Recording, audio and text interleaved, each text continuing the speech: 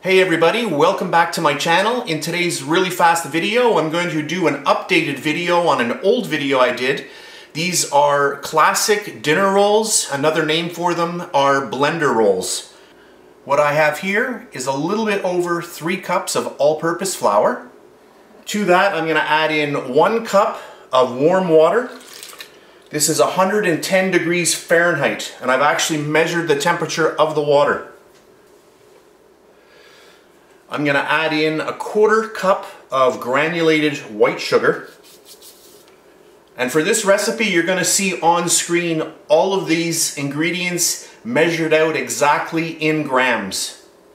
And then I'm going to add in two teaspoons of instant dried yeast right in there.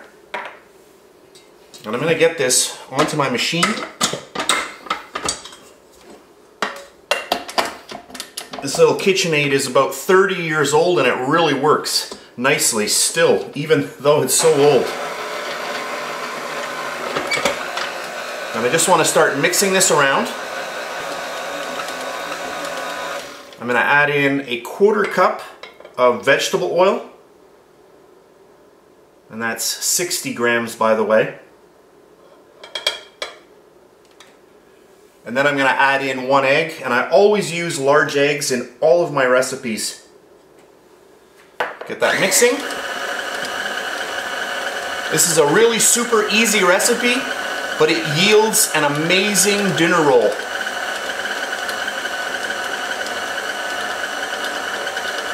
And then I'm going to add in my last ingredient, which is a quarter teaspoon of salt. Right in there. And at this point, I'm going to let my mixer go for a good six to seven minutes.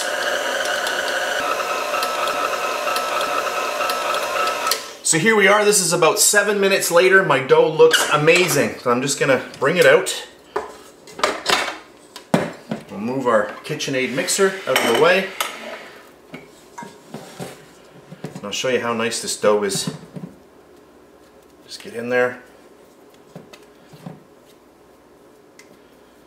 Just get it right off of our little dough hook. This is the old style dough hook. This is called the C. And I do have a video illustrating the differences between the spiral and the old style C hook like this. But you can see it still does a nice dough.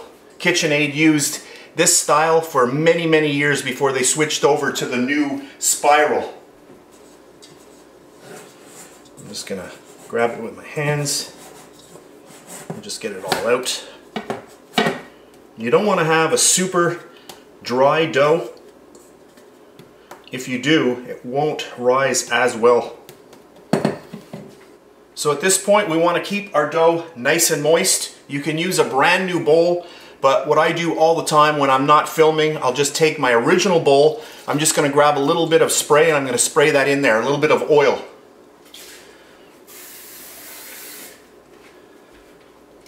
So if you don't have cooking spray, just take a little bit of oil and just oil it. You can use your hands or a little paper towel or a little brush. So that is oiled. Just grab my bench scraper, that'll just make it a little bit easier. You can see how nice this dough is. Really nice dough. So I'm just going to get that into a nice ball.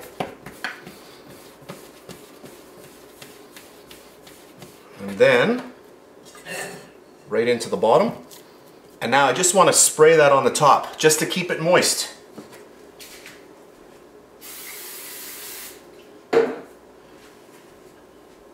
And there we have it. So let's take a beginning look to see what it looks like. And now I'm going to cover it and I just want to leave it there for about an hour. I just want it to get larger in size. So I'm going to let that start growing and then I'll come back in a little while. So this is about 45 minutes later and I'm just going to grab my nice dough. I'm going to bring it out and you can see that it's kind of opened up. It's a little bit less firm. There is a lot of energy and activity going on there with the yeast. And at this point, I'm just going to grab my little bench cutter and I just want to cut all of these into little balls. So if you don't have a little bench scraper like this, you can just use a knife. You just want to try to get them into equal balls. One, two, three, four, five, six, seven, eight. I have a nine inch square pan here and I've just oiled it a little bit. And then I'm going to take each one of these and I'm going to just start placing them into the middle. So just bring them up, make little balls, and just start placing them. I start in the middle. You can start on the side if you wish. So basically the same technique as if you were making a little dough ball for pizza. If you like pizza, I have lots of recipes on my channel here.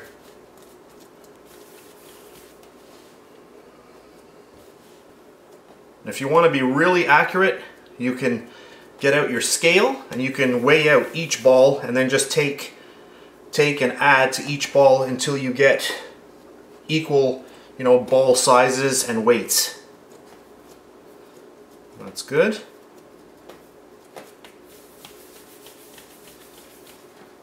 And then I'm just going to spray the top again to keep all of the dough balls moist.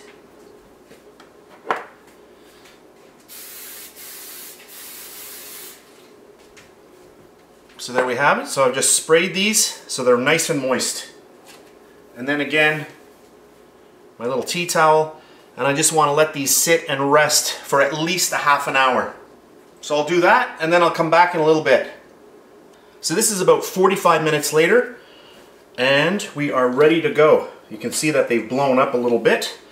I've just taken an egg and just mixed it with a fork, and now I'm just going to get this all over the top. This is going to give it a really nice brown appearance. Now this is optional, but it does make your final product looking a lot nicer.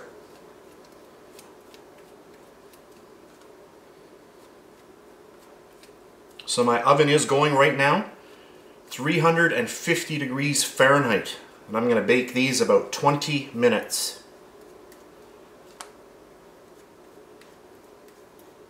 Oh, that looks nice. There we go. Now I'm going to pop these into my oven and I'll come back when they're baked. So here we go, right out of the oven, exactly 25 minutes. At the 20 minute mark, I wasn't too happy with the browning on top, so an extra five minutes, and to me, these look really, really good. At this moment, they're extremely hot, so I'm gonna let them cool down and I'll come back and show you the final product in a little while. Now that my dinner rolls have completely cooled, let's just get them right out of the pan and you can see that they don't stick at all, they just come right out. I'll flip it over so you can see the bottom, how nice that is. And there we have it. These smell amazing. I wish you could be here to smell this with me. So of course we're gonna just take one of these off. And you can see right away how nice these are. I'll just break right into it. Look at this. Oh.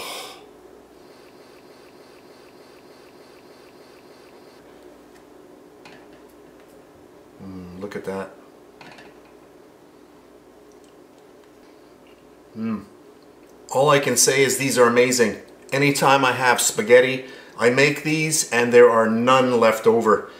Put a little butter on one of these, you are good to go. A really, really super, super easy recipe. I hope you enjoyed it. If you did, please give me a thumbs up, subscribe if you wish. I really do appreciate that. If you're on Facebook, you can check me out at facebook.com slash bakelikeapro. That's it for today, and I'll see you next time. If you're lucky enough to still be watching, then you're getting this little bonus video. I forgot to zoom in before, so I'm doing it now. Look at that. I hope you try these out. You're going to make these once and you're going to be making them all the time. So that's it. Thanks for watching.